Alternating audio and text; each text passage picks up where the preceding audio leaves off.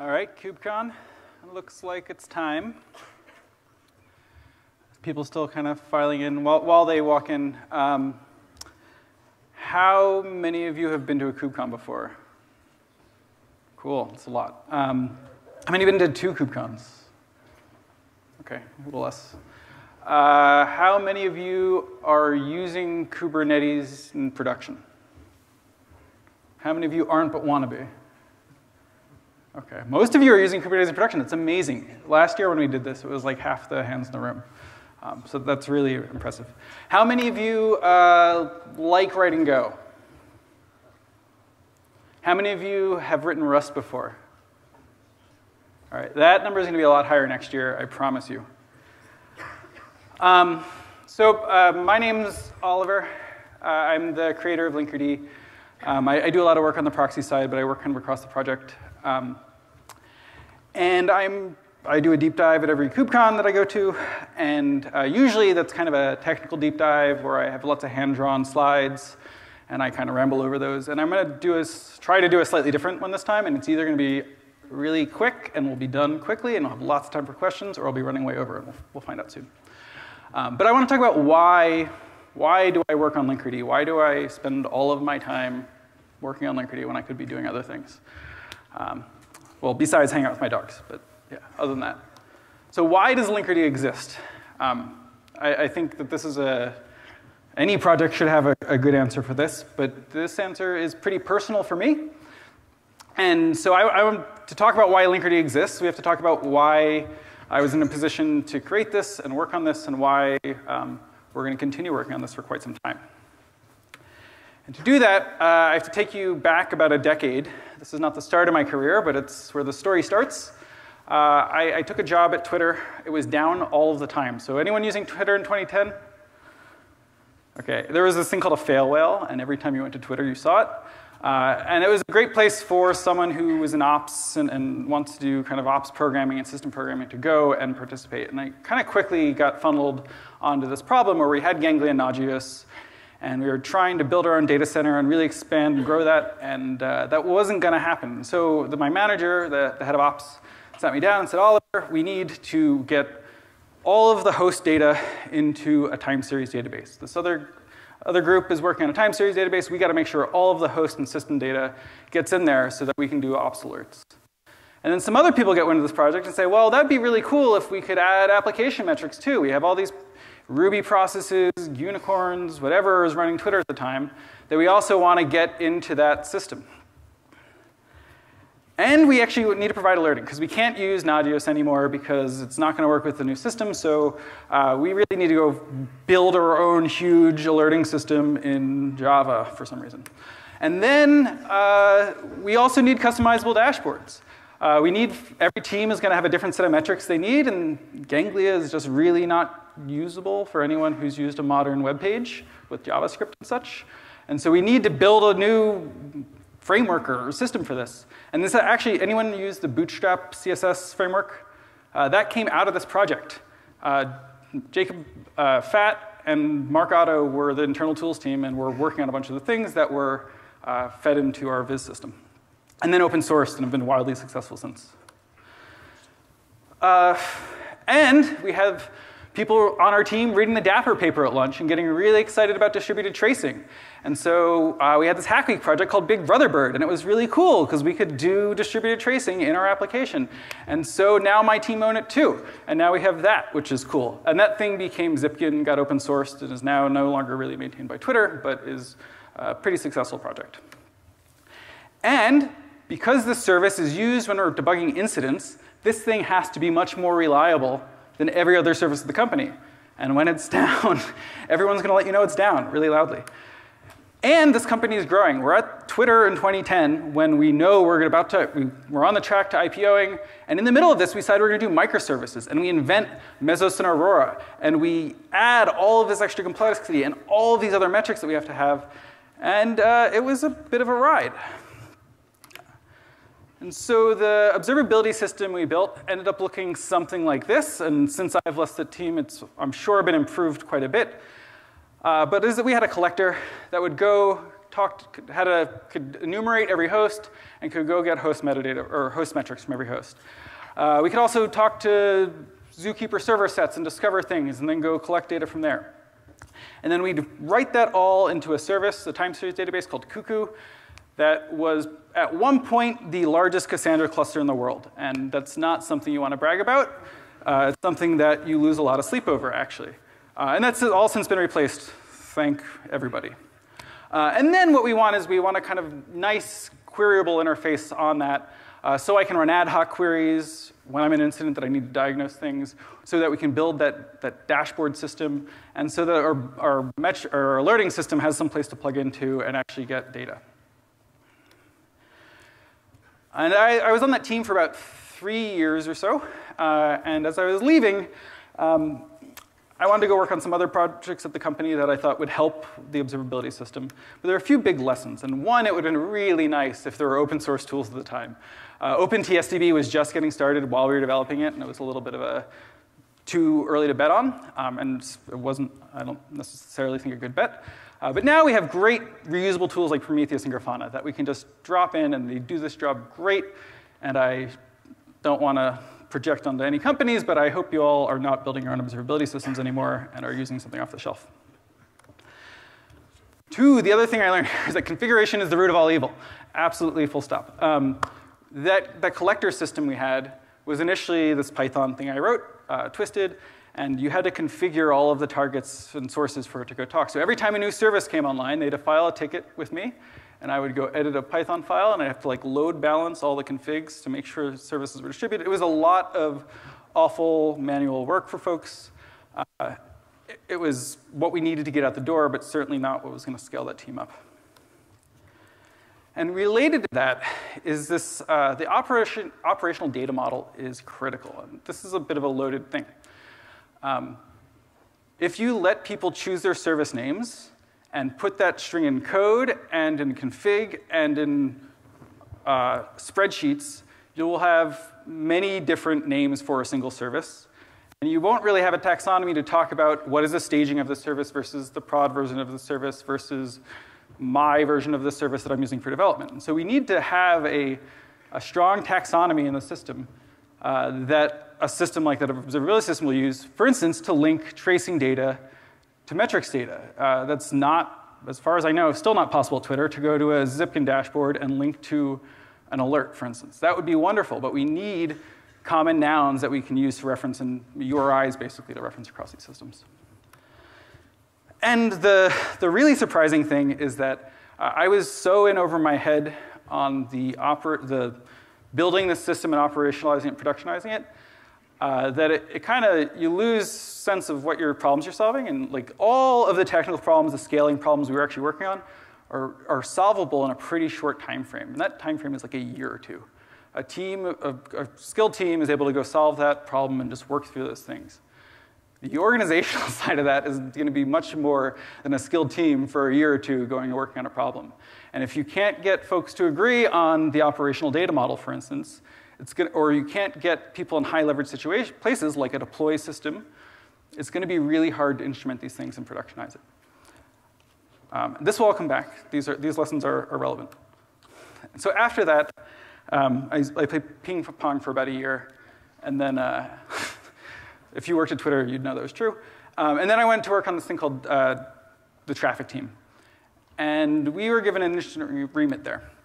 Uh, so we have, as I mentioned before, we had this Zookeeper service discovery cluster. Anyone here done Zookeeper service discovery? Anyone been on call for a Zookeeper cluster?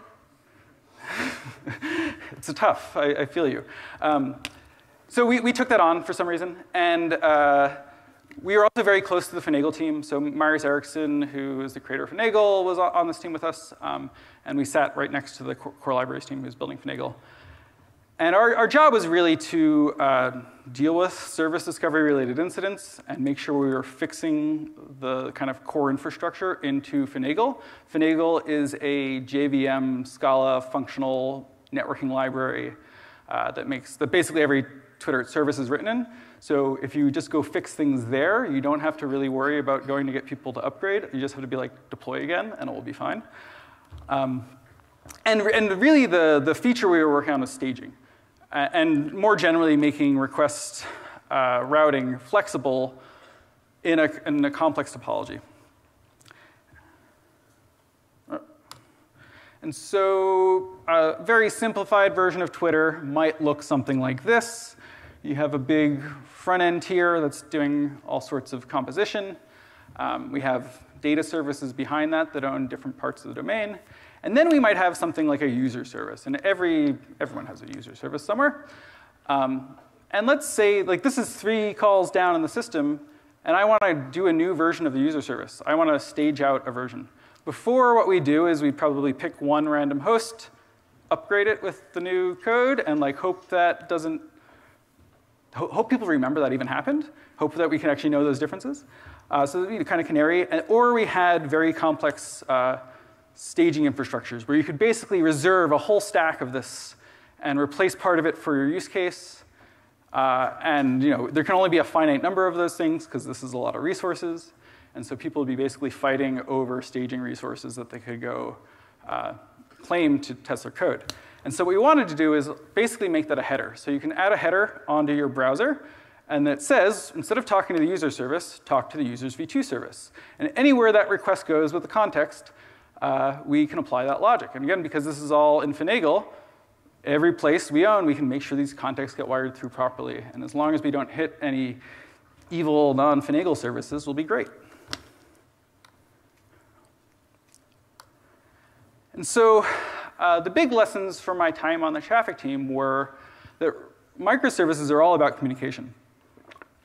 Um, in fact, the name Linkerd comes from this concept we learned on this team that really thinking about the system like a linker and a loader. A loader being something that schedules pods and or schedules resources and creates them. A linker being something that names these targets, names these other libraries. And in a microservice, your libraries are, are services that are running. They're not necessarily code units. And you link at the network layer. And so communication is the kind of fundamental thing that we have to solve here, or, or allow for.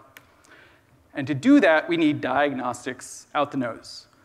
You, can't, you can no longer go to logs and try to correlate logs across various systems. You can no longer attach a debugger to one thing and inspect it and actually get a clue what's going on across the, the topology. We need to make sure that we're building diagnostics into the system throughout. Uh, into the traffic layer specifically, not just on the, the kind of resource level. And going back to the initial problem about solving organizational problems, um, the highest leverage way we found to do that was by putting things in Finagle. A thing that we knew was in every request path and every service of the company. We could go make these changes there. We had launched this whole new staging system without really having to get any of these services to buy into it or convince them about it. We could just deploy it, and even if they had a downstream service that they didn't know was staging, we could implement all of this. Um, and so having that kind of fundamental infrastructure layer of control is really important to roll out these types of policy changes at a company. And so, um, as you do when you work at a place for a certain amount of time, you get tired and want to go somewhere else. Uh, and I, I, had this friend of mine who had been driving me to work for several years, uh, William. Um, he had quit Twitter, and he was like, we're going to start a company. I thought it was crazy. And he's like, no, no, no, like, look at what's happening with Docker, right? I, I haven't used Docker. I've been in this Twitter hole for a while. But I knew about Mesos and Aurora, and I knew about, I knew about what would I learn to become microservices. They were called SOA or services, service-oriented architecture Twitter. Um, but it, it, was clear to me that there was an opportunity, and the, the types of tools I was working on at Twitter, I could go work on as my full-time job in open source, which has been a huge part of my life since I've been in college, basically. Uh, and so that's what I, we set out to do. And basically took Twitter's code, Twitter Finagle, and we're like, how do we, this great thing that we know has all this operational value, has all this power, is this, this uniform layer of control and visibility, how do we make that something that people who don't want to write Scala on the JVM can benefit from? Can we make that a component or a product that, that we can drop in there? And so Linkerd 1, which we created and started working on in 2015, was released in 2016, uh, was the first version of that. Um, it was super configurable. So coming from that, that framework we had both in the JVM and Finagle, we had really good abstractions for service discovery. So nothing was Zookeeper specific. We could talk about marrying Zookeeper and Kubernetes and Consul and etcd and building topologies that incorporate all of these things. And most of the places Linkerd 1 was deployed was to kind of satisfy these complicated multi-scheduler flexibility cases. And of course, we have all of this, like we took all of that routing logic I was just talking about, dropped it into Finagle by, by, Linkerd by default, and that meant you had to go learn a bunch of complex configuration around service naming and fallbacks, et cetera, to get any of this working. And it was, it's a nice system. There are people out there who really love it, really have done some very sophisticated things that are kind of over my head, honestly. Um, but it's a lot to get started. And if this is going to be useful, it can't, you, you can't like, require a course on, on service mesh to get started with it. And Linkerd 1 had this deployment model. Um, again, this is Kubernetes was floating out in the ether, but it was not 1.0 yet. There was Swarm and Nomad and Mesos and Marathon, like just a big messy container orchestration ecosystem. And our model coming from the Mesos world of Twitter was, well, we can have one of these on every host. It'll handle basically connection multiplexing, all of the hard thing at a host level. Um, it's the JVM, so we can only really get it down to 150 megs or so if we really squeeze and pray. Um, which is, is, you know, 150 megs per host is like, okay, if you're not on a micro host or anything really small. Uh, but as a pod model, running one of these per pod becomes wild if you have a 10 meg Go application, right? Like, how do you compare the memory footprints of these things? And so, uh, over time, um, folks put together a really interesting topology at Linkerd, uh, but we kind of realized that the complexity there was not the path forward. So some of the lessons there, again, configuration is the root of all evil. Um, get, if you, anyone written a DTAB in here? Okay, a few of you. Anyone like writing DTABs? Okay, Alex is in here. I know one person who likes writing DTABs. Uh, but they're, they're wild, dark art. The JVM is also kind of the root of all evil. uh, I, I, would have been offended by that a couple years ago. But um, it, it's a really nice system for building lots of enterprise applications, especially Twitter, everything is built on the JVM. It, it works, it's great. But when you're at this point in the infrastructure, in the data path, it's just really not suitable um, from a resources point of view. Uh, Linkerd did, we we knew this microservice thing was happening, but no won was talking about it really quite yet. Uh, Linkerd at first was really positioned of like, oh, it's going to replace F5 load balancers and all sorts of weird things that you could use it for, but weren't really our intent. Um, and over time, we really saw that everyone who was picking up Linkerd seriously was doing so because they had microservice problems. And the other thing we learned is that Kubernetes is king.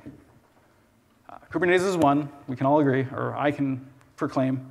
Um, it, it, was really obvious that the Kubernetes model, the pod model, was so much more usable than what was out there otherwise. Co-scheduling processes, like a proxy with an application, is an obvious fallout of the pod model that, that just works well. Uh, doing that in Mesos and Aurora at the time was quite cumbersome. Uh, and so focusing on that as a security model, being able to have per pod security guarantees or, or privacy or, or isolation, uh, we knew that Kubernetes was going to be the king. And so sometime in 2016, we started prototyping new proxies. We wrote Linkerd TCP, which was a, uh, our first version of Linkerd 2 in a way. And then I think it was KubeCon 2017 um, in Austin, where we announced something called Conduit. And Conduit was our, our experimental version of what became Linkerd 2. Um, and it's a Kubernetes native service mesh. So we've ditched well, I don't want to say we've ditched support for everything else, but we've ditched support for everything else. We don't support DTABs anymore. We don't have a flexible, a flexible discovery system. We're betting on Kubernetes primitives through and through. The first thing you have to get here, the reason to install Linkerd is get out of the box traffic observability.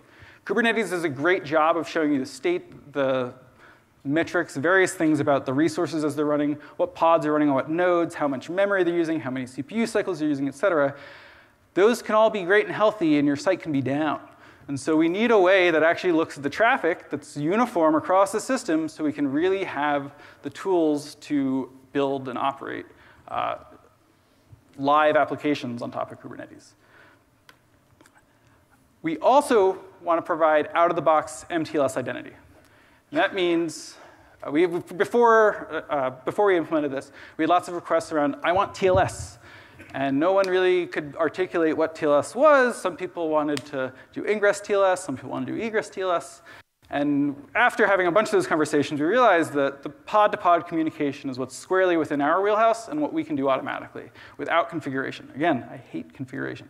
So what we do is, uh, if we, as we discover, uh, as we do discovery, we talk to the Kubernetes API, we know if Linkerd is installed on both sides of the connection. And if it is, we opportunistically add TLS to the thing. It all gets discovered transparently, and we just do it. It's all tied to service accounts. Uh, there's a lot of room for improvement there, but it just works out of the box, and it's awesome. Uh, 2.7, the next release, which as soon as I get back from KubeCon, I'll get back to working on, uh, we're going to be adding MTLS to all TCP metrics out of the box, or all TCP traffic out of the box. Additionally, uh, it's not just this kind of baseline security and visibility concerns. Uh, there's a whole bunch we can do in the reliability space. And so one of the obvious things that people were picking up Linkerd 1 for was surprisingly gRPC load balancing.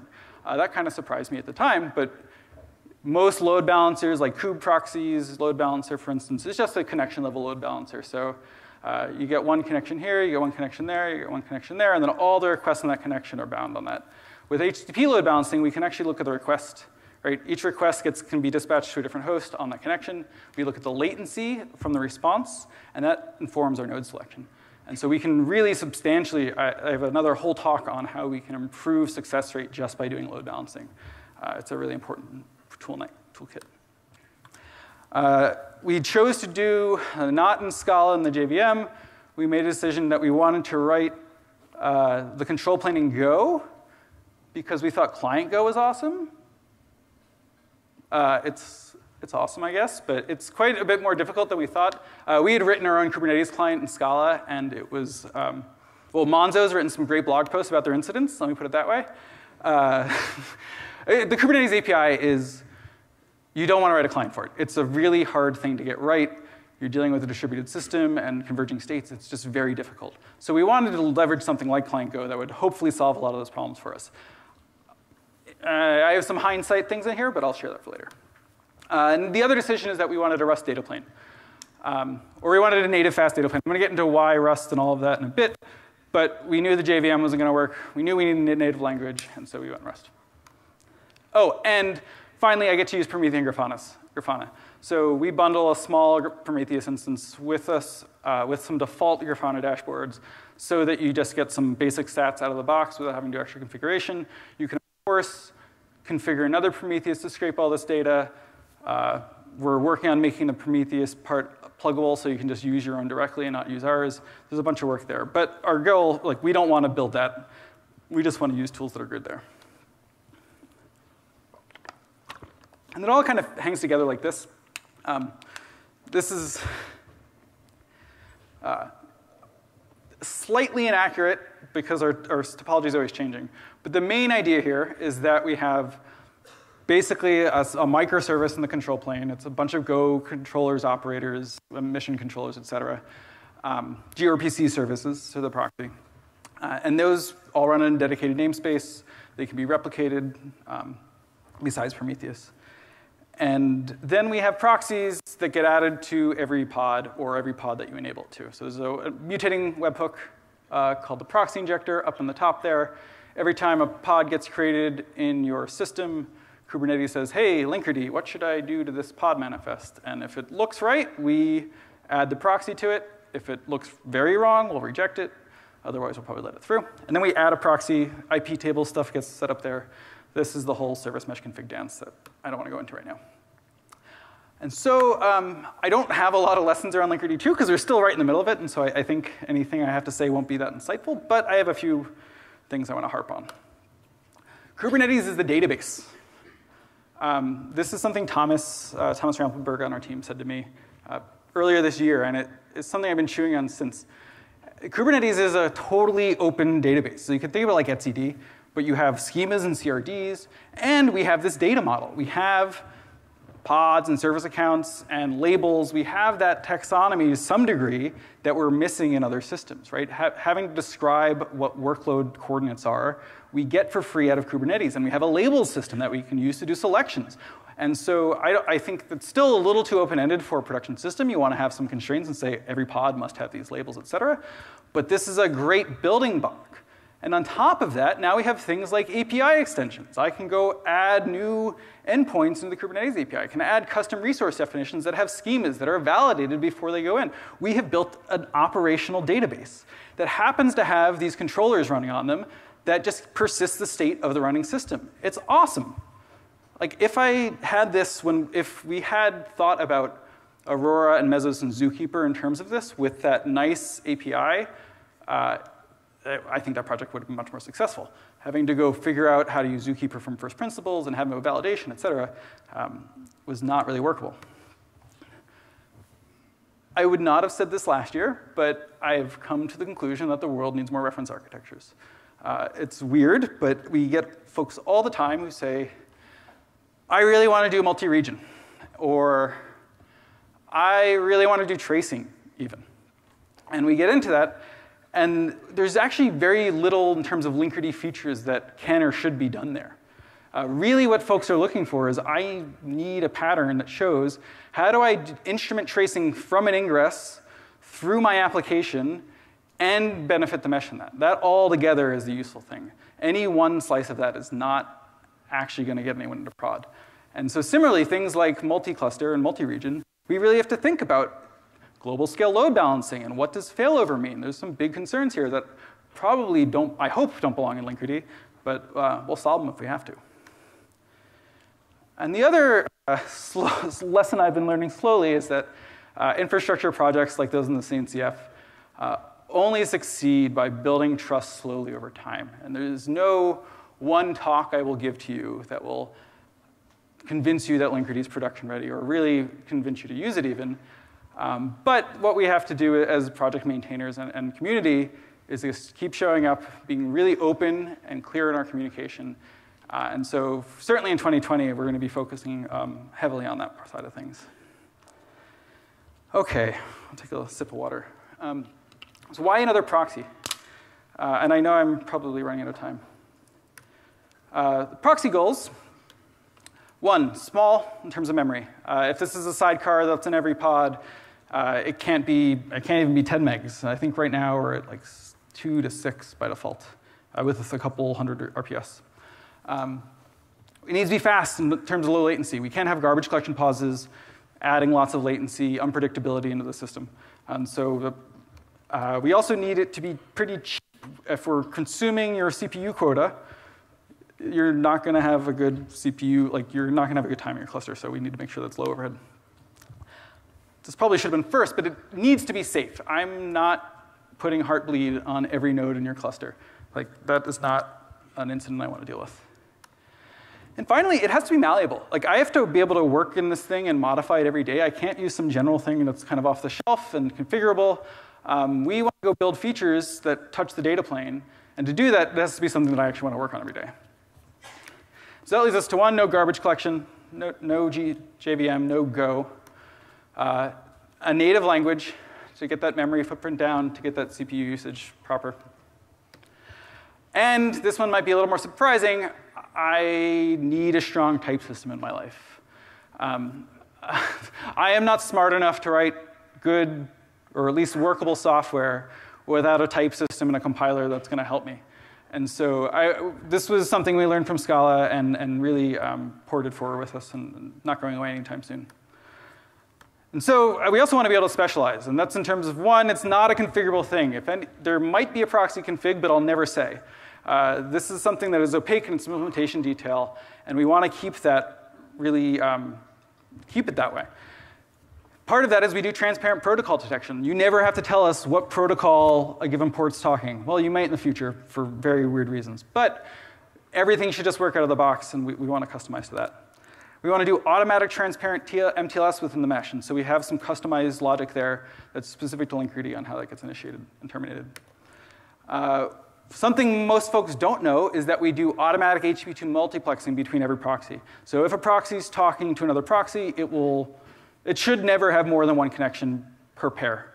Um, and so if you have HTTP one service in between in your app, we will take that, we'll shove that all through an HTTP channel to the other Linkerd, and then we turn it back into HTTP1 on the other side, and so it actually really saves on cross data center connection initialization costs and MTLS costs, et cetera. Finally, we're, uh, not finally, but we, um, we want to have really, really, really good Prometheus integration. When we started, we met with Frederick from the Prometheus pro project, and he was like, the community is not getting this. We need really good Prometheus support in a, in a proxy like this. So he helped us work on that. Um, we have lots of, we basically take all the Kubernetes meta, metadata and just shove that into the labels for the traffic. So we have really hydrated stats that can do things like dependencies, et cetera. We have something called Linkerd tap, which I don't know of in any other system, but is a way for us to basically push in queries into a live running proxy. So rather than say, I'm going to log everything to Splunk or whatever and query it afterwards, we can actually connect to proxies at runtime and say, show me requests that look like these. I want to dig in and see live requests that look like these things. So if you go to Linkerd dashboard, you'll see lots of live requests that's all powered by Linkerd tap. And there's a whole bunch more we're going to do there. Um, I don't know what in what order. Um, my focus right now is very much on the security roadmap, but there will be lots more things that we want to do in the data plane as the project goes on. All right, I'm going to whip through the Rust Evangelism Strike Force. Um, here's what some proxy code looks like after about two years of fighting it. Uh, we actually have really nice composable layers here. This is the outbound endpoint stack. So per, for every endpoint, we create a service that has all of these layers. At the outer side, we have a, the bottom there, we have a tracing layer which gives us some extra context for log messages and errors. We instrument with metrics, with tap. We do protocol upgrading. We strip headers. And what the point is here, we can write lots of orthogonal separated bits of logic that are testable independently that we can compose together to build the proxy logic. Uh, that's something we learned again from taking from Finagle and Twitter and porting forward into Rust and the Tower ecosystem. Okay, this quote is the nicest thing anyone has ever said about my work, so I just have to put it up on a slide once at least. Uh, we had a security audit done with CNCF in July. We worked with this group, Cure 53, in Berlin. Uh, they found two minor bugs in our, our web dashboard. Um, as of Edge two weeks ago, we fixed them. They'll both be fixed in the next stable release. Uh, but they gave us really glowing reviews about the project and um, the way we work on it. So don't take my word for it, take theirs. Okay, wrapping up. Big bets for 2020. Mandatory TLS by default is something we're going to do. This has to be iMessage. There can't be a I'm going to just enable TLS opportunistically and maybe it's not there and I have all these auditing tools. We need to get to a place where this is just mandatory. If it's not TLS or a health check or a readiness probe, then we will fail the request, and that has to be how it works.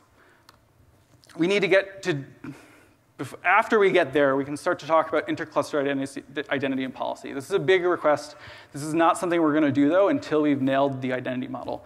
And so we need to get to cross-cluster identity, but uh, that's after we get identity nailed. And this is the craziest bet, I think, on the slide, is that I want to reduce Linkerd's line to code by at least 10%. I think there's uh, I want to maintain less code. I want to have uh, a better ecosystem of libraries, et cetera. And so we're going to definitely push on that.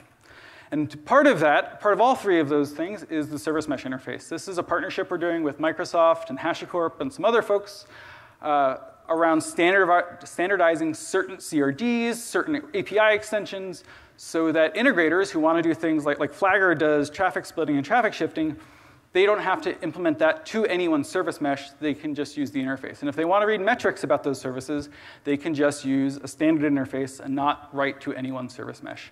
Uh, furthermore, I, think, I hope that we'll be donating or, or finding common implementations of many core components that Linkerd shouldn't be maintaining. Things like the CNI, the proxy init container, which configures iptables, and some of the multi-cluster uh, syncing things we'll have to do I think all belong in SMI, and we're going to have to work with that community to do that. Okay, the big flashy slide that I'm required to have here is that we've been in production for a long time. We're doing awesome. Um, and uh, we, we had the security audit done. We've added distributed tracing recently. And 2020 stuff is really, again, getting the security roadmap advanced and making that extend across clusters. I'll let you take a picture, and then I'm going to change slides. Thank you very much. Please come get involved. Uh, the more the merrier. And if you have questions, I'll try to field them here, or we have a booth somewhere, and find me there. Thanks.